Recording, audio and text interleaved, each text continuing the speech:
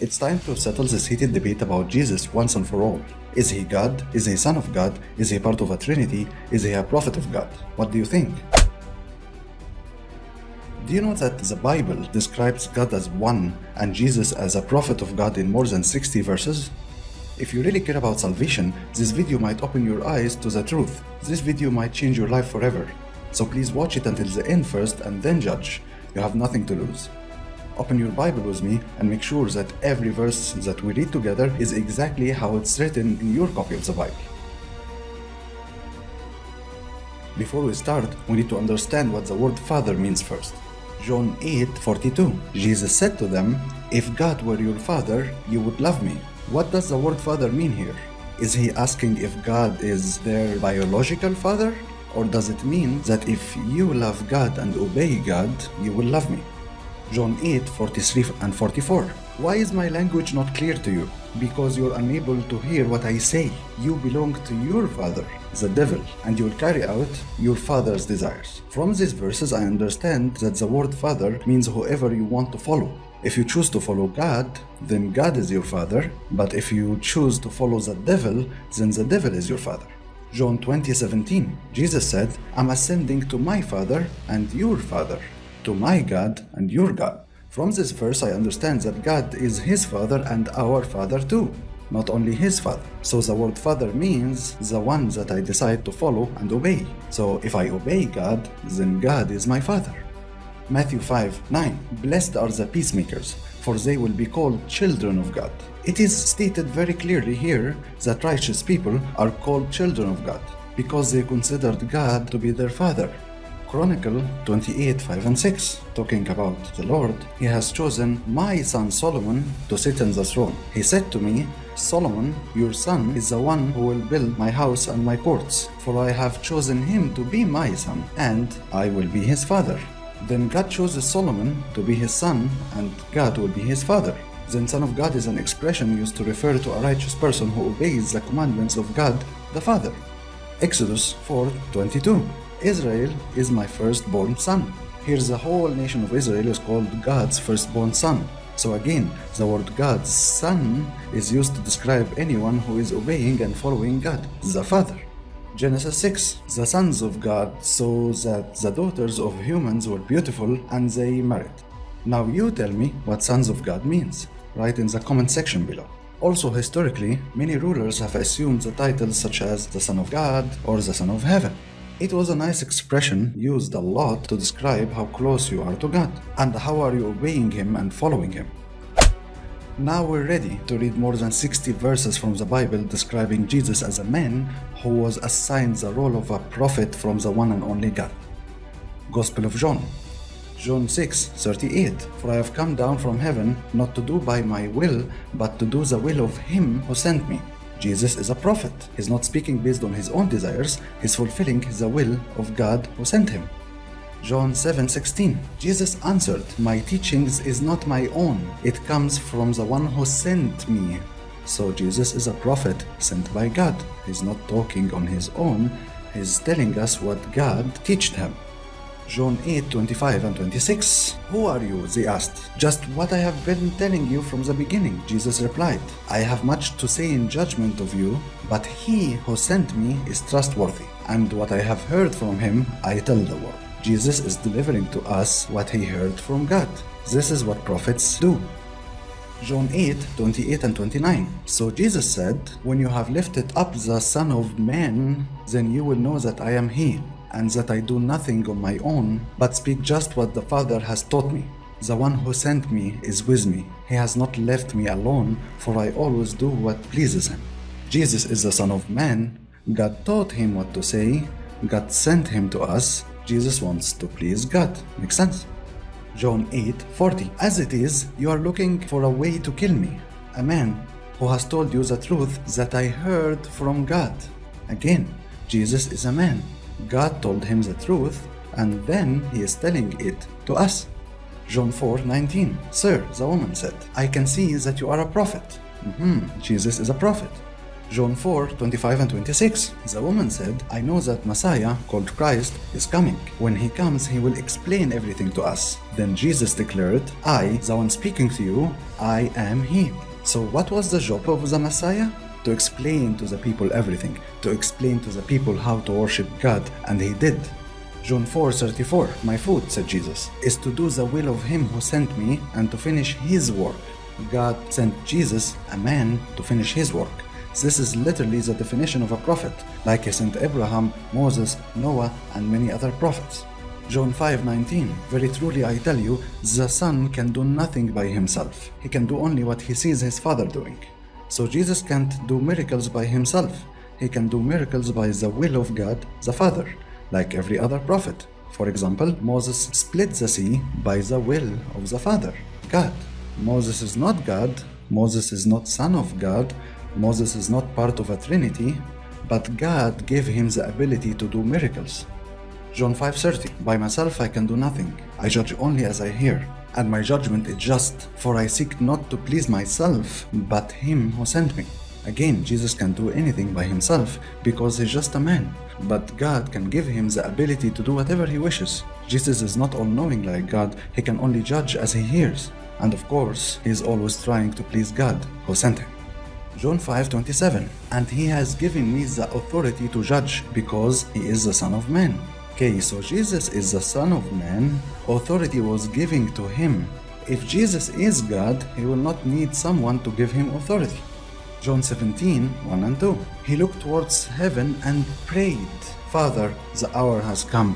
Glorify the Son, so the Son may glorify you. For you granted him authority over people. If Jesus is God, who is God praying to? And who is giving God authority? John 17, 3 and 4. The only true God and Jesus Christ. I have brought you glory on earth by finishing the work you gave me to do. It is very clearly written that there is only one true God and there is Jesus. And what is the relationship between them? God sent Jesus. God gave him work to do. John 7 40. On hearing his words, some of the people said, Surely this man is a prophet. Unfortunately, most of these men, the early Christians, who agreed on the fact that Jesus is the prophet of God, were prosecuted by the Roman Empire. We will explain that later at the end of the video, so stay tuned. John 9:17 The man replied, He is a prophet. May God send this man to eternal paradise, him and all who believed in Jesus and followed him for real. John 10:29 My Father who has given them to me is greater than all. Of course, my Father, my God, is greater than all. He didn't say, I am greater than all. John 12 49. For I did not speak on my own, but the Father who sent me commanded me to say all that. This rule applies to all prophets. They don't speak on their own, God teaches them religion, and then they teach us. John 13 16. No servant is greater than his master, nor is a messenger greater than the one who sent him. Jesus referred to himself as a servant and a messenger.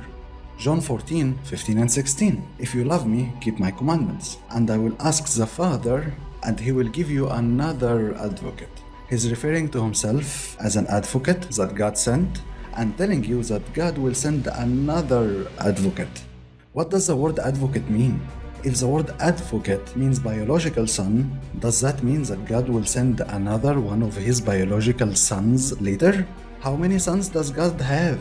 And if the word advocate means prophet, who is this other prophet that Jesus is referring to that God will send after him? Let me know your answers in the comment section below. John 14 24. These words you hear are not my own. They belong to the Father who sent me. It's clear by now that Jesus is a prophet that God, our Father, sent to deliver a message and teach us our religion. John 14 28. For the Father is greater than I. I have a question here. If Jesus is God Himself, how come the Father is greater than Him? Shouldn't they be equal? After all, they are both God, right? Why is one part of God greater than the other? Gospel of Matthew, Matthew 4, number 1. Then Jesus was led by the Spirit into the wilderness to be tempted by the devil. Can the devil tempt God? Because in James 1:13, when tempted, no one should say, God is tempting me, for God cannot be tempted by evil, nor does he tempt anyone. It is very clear that the devil cannot tempt God. Then how is Jesus tempted by the devil and at the same time how is Jesus God? Matthew 8:20 Son of man. Matthew 12:18 Here is my servant whom I have chosen. Matthew 18:11 For the Son of Man. Matthew 21:11 This is Jesus the prophet. Matthew 21:46 He was a prophet. Matthew 26 2 Son of Man. Matthew 26 39 Going a little further, he fell on his face to the ground and prayed, My Father, if it is possible, may this cup be taken from me, yet not as I will, but as you will. By the way, why aren't Christians right now praying like Jesus did? He fell with his face to the ground and prayed. Let me know your thoughts in the comments. And also, if Jesus is God, why is God praying and who is he praying to? Matthew 28 18 All authority has been given to me. Gospel of Luke Luke 4 8 Jesus answered, It's written, Worship the Lord your God and serve him only. He didn't say worship me too, just serve him only. Luke 7:16, A great prophet has appeared among us. Luke 9:19, One of the prophets. 9:22, The Son of Man must suffer. God does not suffer. Luke 11:20, I drive out demons by the finger of God. Prophets get their great ability from God. Luke 18:19, Why do you call me good? Jesus answered. No one is good except God alone. Why can't we call him good if he's God? He's clearly saying here, I am not God, this is why you can't call me good, because only God is good. I am not God. Luke 24 19 He was a prophet. Gospel of Mark. Mark 6 4 A prophet is not without honor. Mark 9 37 The one who sent me. Mark 11 12 Jesus was hungry. Seeing in the distance a fig tree in leaf, he went to find out if it has any fruit. When he reached it, he found nothing but leaves because it was not the season of figs. First of all, God is never hungry. Second of all, God should be all knowing. How come he didn't know that there was no fruit in the tree? Then Jesus is not God. Mark 12 29 The Lord is one. The Lord is one, not three, and not three in one. Mark 13 32 But about the day or hour no one knows, not even the angels in heaven, nor the Son, but only the Father. Jesus said he doesn't know when the hour will come, but only God is all knowing. Mark 15 34, and this is a nice one. Jesus cried out in a loud voice, My God, my God, why have you forsaken me? How come God is crying for God to help him? Does that make sense to you? Let's know in the comment section below. We don't want this video to be hours long, so we will give you only some examples from the rest of the Bible.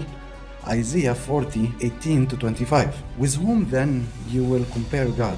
To what image will you liken him? To whom will you compare me, or who is my equal? says the Holy One. Nothing is like God. God has no image, God can't be seen, but we could see Jesus. Isaiah 46 9 and 10. I am God, and there is no other. I am God, and there is none like me. I make known the end from the beginning, from ancient times, what is still to come. I say, My purpose will stand, and I will do all that I please. Jesus does not fit any of the descriptions listed here about God. Psalm 102 27. But you remain the same, and your years will never end. God will remain the same, will not change to be a baby, then change to be a man, then change to be a buried body, and then get resurrected. God doesn't end. God can't be killed or crucified. Psalm 50:12 The mighty one, God, says, If I were hungry, I would not tell you, for the world is mine, and all that is in it. But Jesus was hungry after he fasted 40 days, and Jesus needed to pray, eat, drink, and even cry to God for help. Jesus is not God. Deuteronomy 6:4 The Lord is one. God is not three in one, God is not two in one, God is one. Numbers 23:19 God is not human, God is neither a man nor son of man. Habakkuk 1:12 My God, the Holy One, you will never die. Again, God does not die, God does not get crucified. Hosea 11:9 For I am God, not a man. 1 Timothy 1:17 Now to the King eternal, immortal, invisible, the only God. So God is immortal, he can't be crucified. God is invisible, but people could see Jesus. Hebrews 1:12 But you remain the same, and your years will never end. God will never change. Then why did he become a mortal man?